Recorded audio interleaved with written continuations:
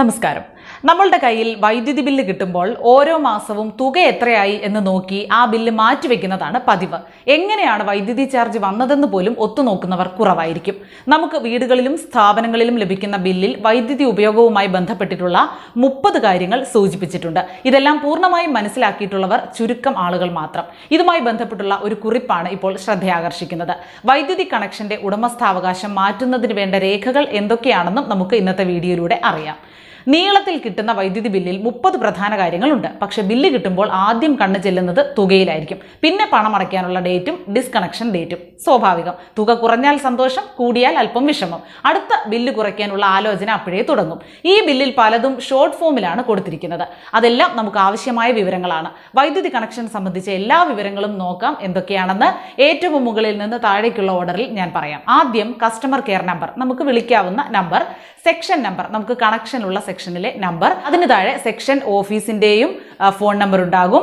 പിന്നെ ബാർകോഡ് ഉണ്ടാവും. പിന്നീട് അഞ്ചാമതായി സി ഹാഷ് എന്നിട്ടിട്ടുണ്ടായിരിക്കും. അതായത് കസ്റ്റമർ നമ്പറാണ് വൈദ്യുതി കണക്ഷൻ നമ്പർ പതിമൂന്ന് അക്കം ഉണ്ടാവും. അവസാനത്തെ നാലോ അഞ്ചോ അക്കമുള്ള നമ്പർ വീടിന് മുൻപിലും മീറ്റർ ബോർഡിലും എഴുതി വെക്കുന്നതാണ്. ആറാമത്തേത് ബിൽസ് എന്നാണ് കാണാവുന്നത്. ബിൽ നമ്പർ ഇതൊരു കൺസ്യൂമർക്ക് നൽകുന്ന പ്രത്യേക നമ്പറാണ് ഓൺലൈനായി പണം അടയ്ക്കുമ്പോൾ ഈ നമ്പർ വെച്ചാണ് കൺസ്യൂമറെ ഐഡന്റിഫൈ ചെയ്യുന്നത്. അടുത്തതായിട്ട് നെയിം എന്ന് കാണാം. അതായത് കൺസ്യൂമറുടെ പേര്. പിന്നീട് pole P O L E connection എടുത്തിരിക്കുന്ന പോസ്റ്റിന്റെ നമ്പറാണത് പിന്നീട് ട്രാൻസ് എന്ന് കാണാം. അത് ഏത് ട്രാൻസ്ഫോർമറിൽ നിന്നാണ് വീട്ടിലേക്ക് വൈദ്യുതി എത്തുന്നത് എന്നുള്ളതാണ്. പിന്നെ കാണുന്നത് ബിൽ ഏരിയ ഡേ അല്ലെങ്കിൽ ഏരിയ എന്നുള്ളതാണ്. ഏത് ഏരിയയിൽ നിന്നാണ് മീറ്റർ റീഡ് ചെയ്യുന്നത്? പിന്നീട് ബിൽ ഡേറ്റ് റീഡിംഗ് എടുത്ത് ബില്ല് കൊടുക്കുന്ന ഷെഡ്യൂൾഡ് ഡേറ്റ് ആണത്.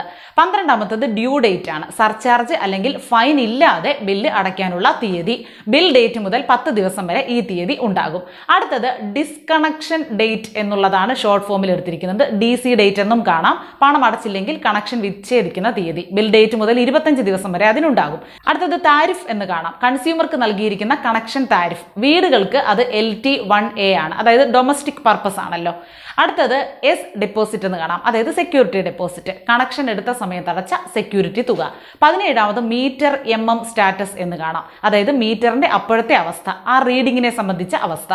പിന്നീട് ഓക്കെ എന്നാണ് കൊടുത്തിരിക്കുന്നതെങ്കിൽ മീറ്റർ ഗുഡ് എന്നാണ് അർത്ഥം. എസ് എഫ് എന്നാണെങ്കിൽ സസ്പെക്റ്റഡ് ഫോൾട്ടി അതായത് റീഡിംഗ് കൃത്യമാണോ എന്ന് സംശയം ഒബ്സർവേഷനിൽ വെക്കാൻ ആവശ്യപ്പെടാം.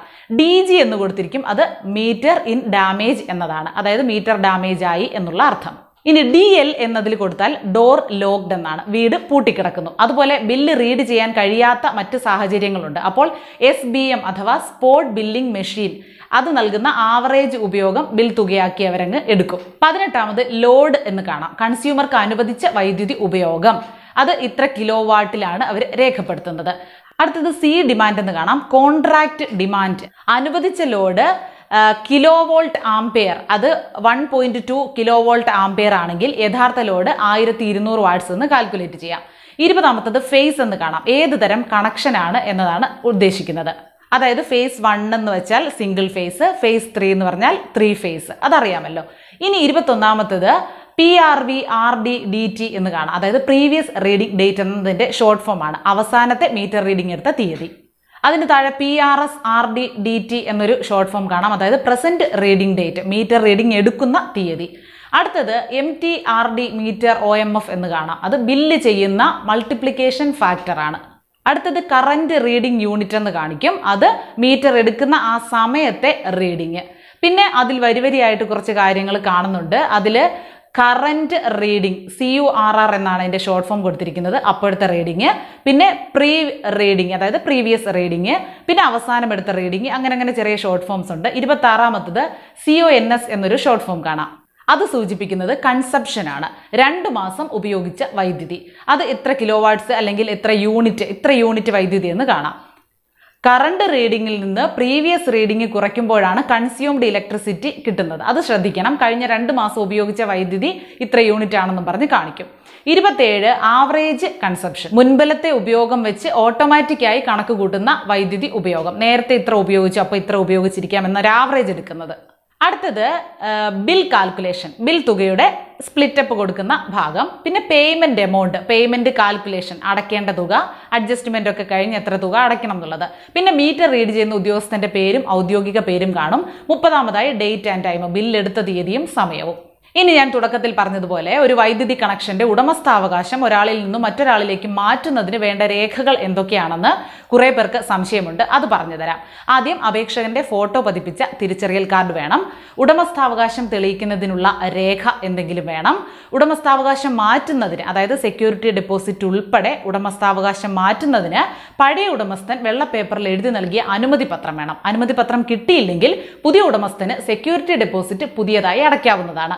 അപ്പോൾ നിലവിലുണ്ടായിരുന്ന സെക്യൂരിറ്റി ഡെപ്പോസിറ്റ് പഴയ ഉടമസ്ഥന് ഉടമസ്ഥാവകാശം മാറ്റുന്നതായുള്ള അറിയിപ്പോടെ ബോർഡ് മടക്കി നൽകുന്നതുമാണ്.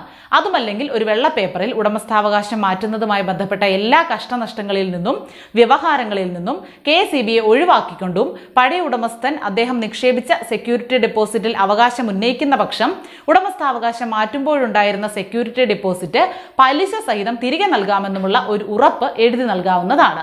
രജിസ്റ്റർ ചെയ്തിരിക്കുന്ന ഉപഭോക്താവിന്റെ നിര്യാണത്തെ തുടർന്ന് ഉടമസ്ഥാവകാശം മാറ്റുന്നതിന് വിൽപത്രമോ പിന്തുടർച്ചാവകാശ സർട്ടിഫിക്കറ്റോ മരണ സർട്ടിഫിക്കറ്റിനൊപ്പം നൽകിയാൽ മതിയാകും. ഉടമസ്ഥാവകാശം മാറ്റുന്നതിന് സ്ഥലപരിശോധന ആവശ്യമില്ല. ഒരു കാര്യം കൂടി ശ്രദ്ധിക്കുക. ഉടമസ്ഥാവകാശം മാറ്റുന്നതിനൊപ്പം കണക്റ്റഡ് ലോഡിലോ കോൺട്രാക്റ്റഡ് ഡിമാൻഡിലോ വ്യത്യാസമുണ്ടെങ്കിൽ കണക്റ്റഡ് ലോഡ് അല്ലെങ്കിൽ കോൺട്രാക്റ്റഡ് ഡിമാൻഡ് മാറ്റുന്നതിനുള്ള അപേക്ഷ കൂടി സമർപ്പിക്കേണ്ടതാണ്. വലിയ വിലപ്പെട്ട രണ്ട് പ്രധാനപ്പെട്ട കാര്യങ്ങളാണ് വൈദ്യുതി ബില്ലും വൈദ്യുതി കണക്ഷനുമായി ബന്ധപ്പെട്ട് നൽകിയത്. വൈദ്യുതി ബിൽ എത്തുമ്പോൾ ഇനിയെങ്കിലും അതിലെ കാര്യങ്ങൾ കൃത്യമായി ശ്രദ്ധിക്കാനും പഠിക്കാനും ശ്രദ്ധിക്കുക. നമ്മുടെ പല കാര്യങ്ങളിലുമുള്ള അറിവില്ലായ്മയാകാം നമ്മൾ പലയിടങ്ങളിലും കബളിപ്പിക്കപ്പെടുന്നത്. അതുകൊണ്ട് ഇതുപോലെയുള്ള കാര്യങ്ങൾ ഇനിയെങ്കിലും നിസ്സാരങ്ങളാണെന്ന് പറഞ്ഞ് തള്ളരുത്. പ്രയോജനപ്രദമാണ് എന്ന് തോന്നിയെങ്കിൽ മറ്റുള്ളവർക്ക് കൂടി ഷെയർ ചെയ്യുക.